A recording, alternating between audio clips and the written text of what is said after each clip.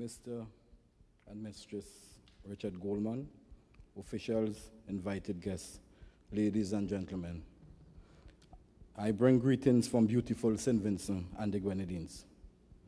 Let me congratulate the Goldman Environment Foundation for their vision and foresight in establishing such a significant global environment prize for grassroots practitioners.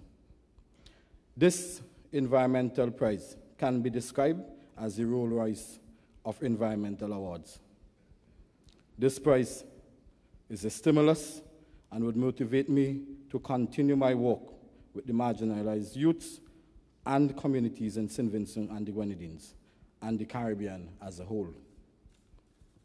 In summary, my work can be described as the development of, of an integrated participatory development model for people at the community level to participate in determining their own development. Let me remind you, there isn't any instant coffee approach to development. I, I am impressed with the efforts of the Goldman Environment Foundation in establishing a special category on island nations. You are pioneers in your own right.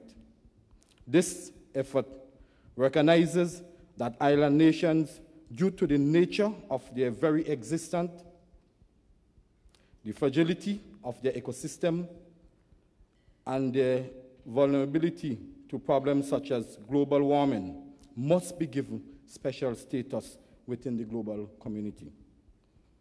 In conclusion, let me thank the government and people of St. Vincent and the Grenadines, the members of JEMS Progressive Community Organization, residents of the villages of Enhams, Makati, and surrounding areas for their continuous support.